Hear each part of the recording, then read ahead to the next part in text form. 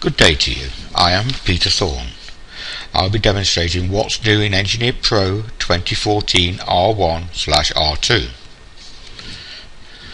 For, I've got a series of patterns and lines on here for the demonstration purposes only.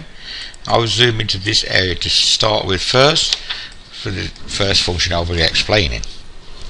This is the marker function the marker function has undergone significant change.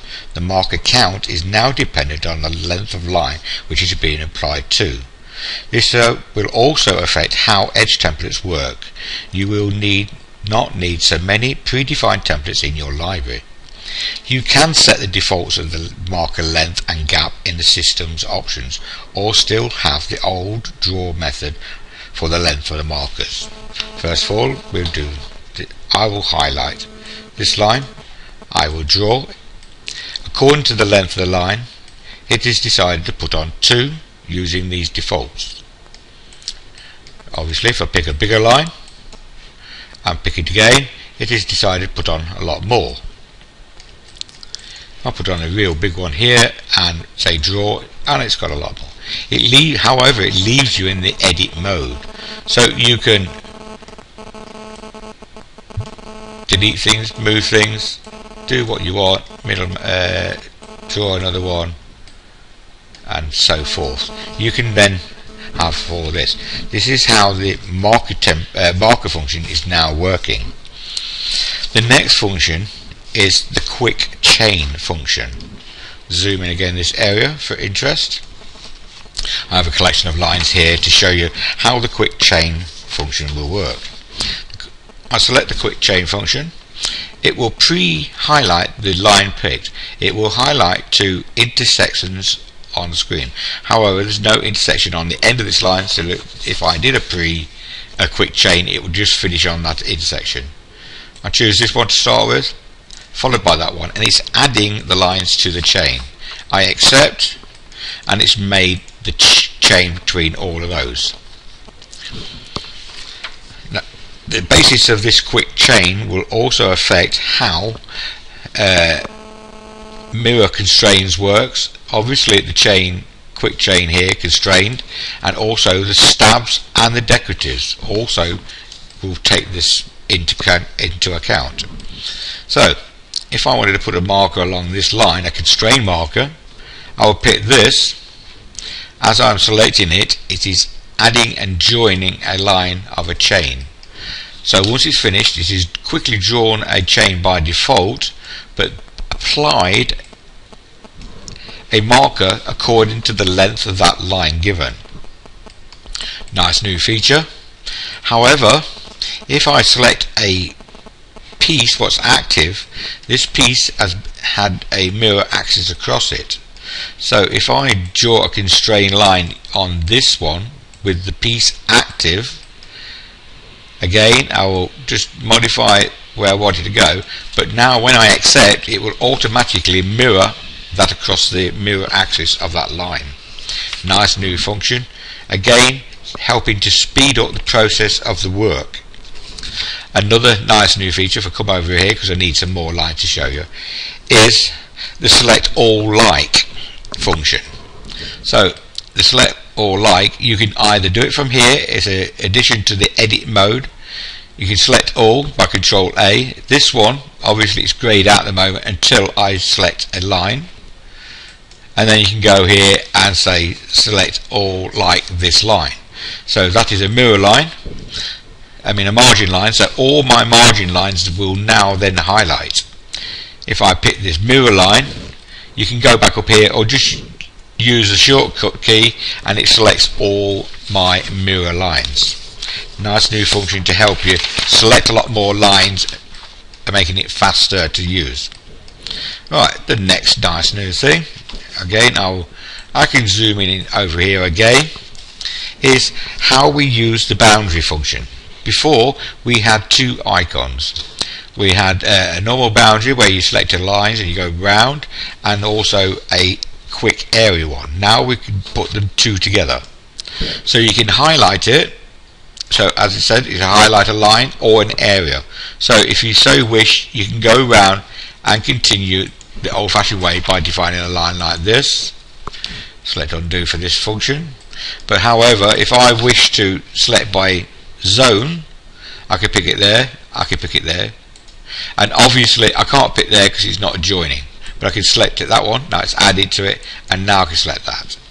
Except it's made the boundary of those pieces by using zones. A nice new function is the capability of radiusing the corners using the so I've got that's highlighted we will show you is radius chamfer.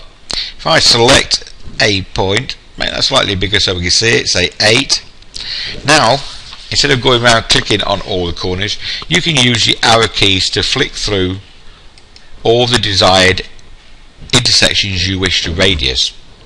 Again it's a little function but it will speed up how you are creating your parts. Initialize this area. Oh it's highlighted. Thank you. So we got there a nice neat function. Very simple to do but this pattern the toes pointing to the right. Now some uh, pattern cutters may wish it or designers wish want to go to the right. So all we got to do is go to the draw a new function in mirror called flip. This will flip everything over your grade assignments and everything like this, your patterns and everything else is flipped across the axis. So you can go back and flip it back if you so wish.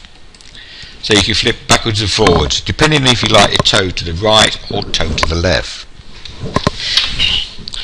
The most exciting new function is in a this form, if I select this and go right mouse button, you will see this synchronize in 3D and update in 3D. So I will try to explain of how this will be working. First of all, I will clear this and minimize and open up Shoemaker. So within Shoemaker, I will pick a shoe, a last. This will a couple of seconds to bring it in. Right, that's in. So how I, now if I draw on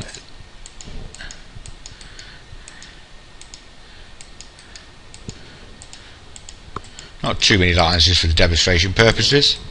So I've got four little lines on. What I will do is I will save it. Save it to my desktop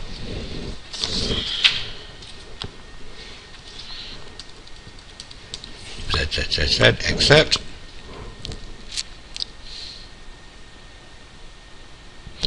take a couple of minutes to do. Cancel that. This is saving all the data within a .shu file.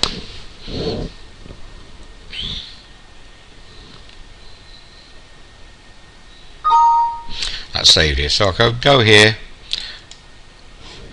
to synchronize everything to engineer and then we'll just save it again just for safety sake.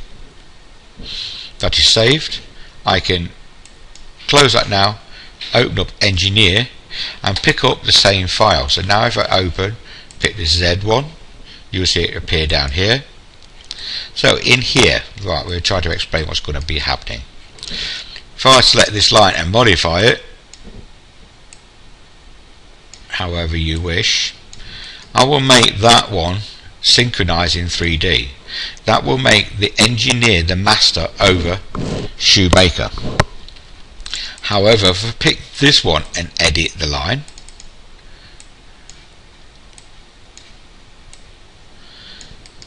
and we'll just say synchronize this one.